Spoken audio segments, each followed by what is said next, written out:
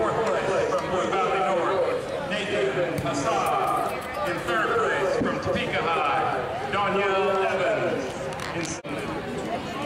Now awards. Jesse Hickerson in seventh place, followed by Northwest, Lindsay Howell. In sixth place, 11, Sanaya Atkins. In fifth place, Generation Northwest, Olivia Pixton. In third place, from Olathe Northwest, Jalisha Washington.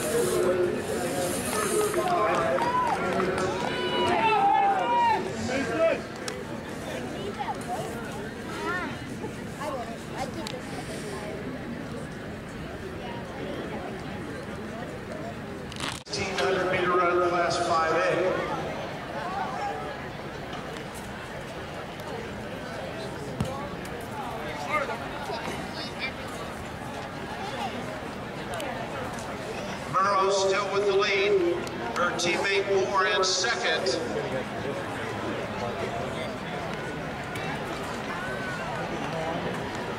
And that is Shara Valley Center and of Mays.